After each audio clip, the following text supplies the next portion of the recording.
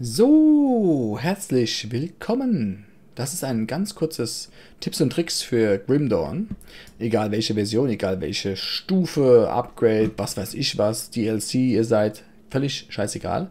Es geht darum, wie man Loot sehr schnell sortieren und sehr schnell filtern kann. Ähm, und nicht nur mit der normalen Filterfunktion hier unten links, sondern auch wie ihr, wenn ihr Loot loswerden wollt und einfach den Filter nutzen wollt, ähm, wie ihr das machen könnt.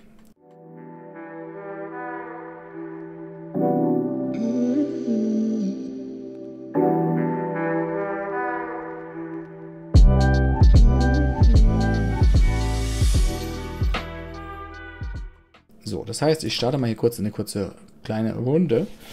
Oh, ich sehe so fertig aus. Es ist erst, wie viel Uhr haben wir denn? 9 Uhr abends. Ich bin tot. Warum auch immer.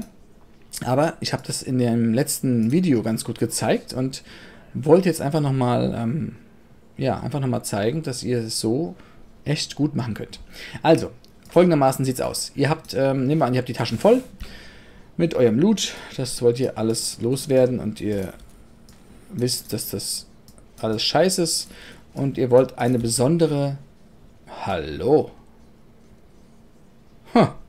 Okay, und ihr wollt eine besondere ähm, Sache sammeln. Ihr wollt zum Beispiel Kreaturenbonus sammeln. Jetzt ist es so, ihr könnt es hier nicht sortieren. Ihr könnt hier unten in eurem, hier in eurem Filter zwar einstellen, ihr wollt Sachen mit kreaturspezifische Sachen angezeigt kriegen, wenn die droppen, aber wenn ihr mal die Taschen voll habt, dann könnt ihr es nicht mehr sortieren. Ähm, ihr könnt es doch sortieren, indem ihr hergeht und sagt, ich gehe zum Verkäufer, also zum Käufer in dem Fall, und verkaufe dem Käufer meinen ganzen, Achtung, Scheiß. Das hole ich mir natürlich alles zurück, weil das brauche ich ja. Und jetzt verkaufe ich das hier und habe das verkauft, weil das alles, wir gehen mal davon aus, das wäre Schrott. Und jetzt ist mir aber der wichtige Wert, den ich eigentlich suche und behalten möchte, Kreaturenbonus als Beispiel ist hier für diese Challenge ganz gut. Also gebe ich ein Kreatur oder wenn ihr Englisch spielt, Pet. Ähm, und schon kommen hier hell aufleuchtend die Sachen, die zu der Kreatur gehören.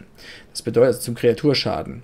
Bedeutet, das hier würde ich mir jetzt wieder rausnehmen, damit ich es wieder in meinem Inventar habe weil das hat hier Kreaturschaden äh, bzw. 18% Leben. Genauso gut könnt ihr was sagen, ich mache jetzt keinen Kreaturen-Petmaster, äh, sondern ich, ich gehe auf Blitzschaden und dann gebt ihr Blitz ein und dann wird alles, was mit Blitzschaden oder Blitzabwehr oder Resistenzen zu tun hat, angezeigt und ihr könnt euch das wieder rausholen beim Rückkauf und ihr habt dann quasi nicht das Problem, dass ihr immer filtern müsst. Ihr haut es einfach, verkauft den Scheiß hier unten raus, filtert hier oben raus, was ihr braucht, was weiß ich, Säure, Säure und haut den Dreck raus und guckt dann, wenn da was leuchtet, wisst ihr, es hat mit Säureschaden zu tun. In dem Fall ist es hier nicht so.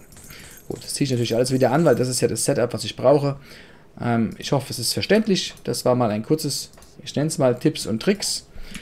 Und ähm, das war mir ganz wichtig, weil es hat mir echt geholfen bei den vielen, vielen Jahren, wo ich schon Grimdawn spiele, dass ich einfach mit dieser Funktion mir das Verkaufen leichter machen konnte und meine Sachen, die mir wichtig sind, raussuchen konnte. Jo, alles klar. Dann wünsche ich einen schönen Freitagabend.